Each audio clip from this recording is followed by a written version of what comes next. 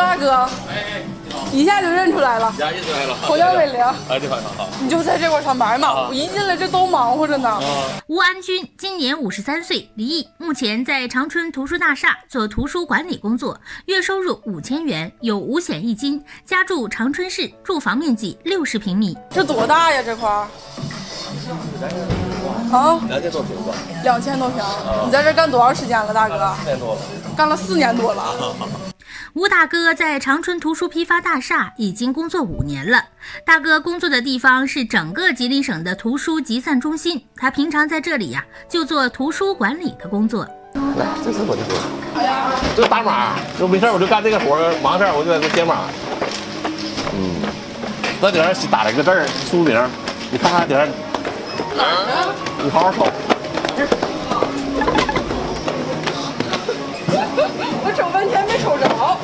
胖，你告诉他一下。嗯嗯，这有一个突出的一个字体。嗯。啊，这个是啥意思呀？这打。你这家书店要书了，就给你配过去了，就给你打上。要不待会儿不是书店来串书吗？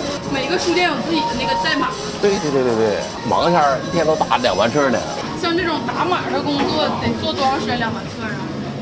早上七点七点半上班，打到五点来钟。吴大哥平常做的工作就是把出版社送来的书按照书店名称分别打上专门的号码区分开，然后进行包装。啊，这个打包机是这种。哦，这有那个塑料条子。对，塑料条子。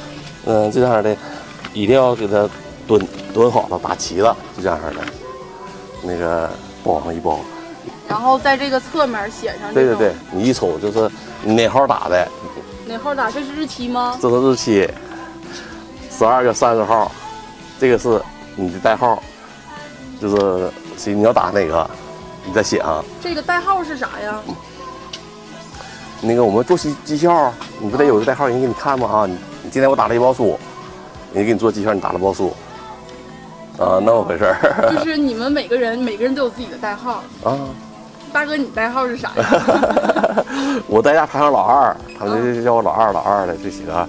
老二就行了啊，写个二，写个二，嗯。那那像大家像这种打包书的话，一个人一天能包多些呀？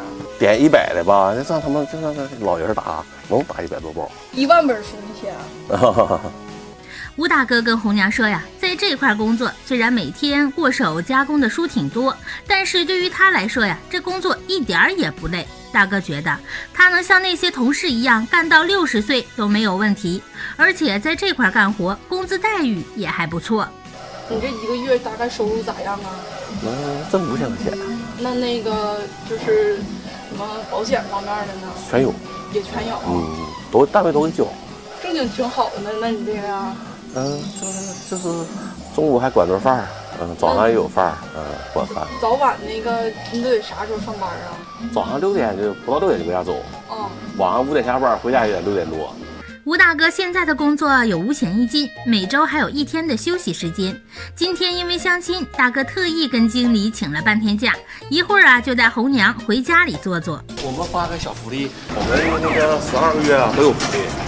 十二个月都有。吴大哥说呀，每个月单位都会发一些小福利，就像这个月发的，就是他手上的这箱水果萝卜。大哥跟红娘说呀，这些细节让他觉得现在的生活那是踏实安稳呐。还上班好？